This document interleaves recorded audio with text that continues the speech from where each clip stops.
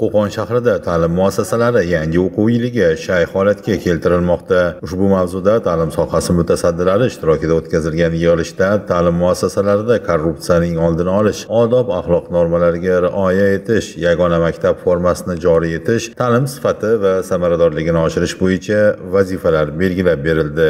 Yig'ilishda asosiy masala yangi o'quv yiliga tayyorgarlik, avgust konferensiyasida o'tkazilgan vazifalar hamda o'qituvchilarimizni yagona formaga joriy etish kiyinish madaniyati o'quvchilarimizni yagona formani joriy qilish kiyinish madaniyati odob axloq qoidalari to'g'risida juda katta vazifalar kelishib olindi chora tadbirlar belgilab berildi.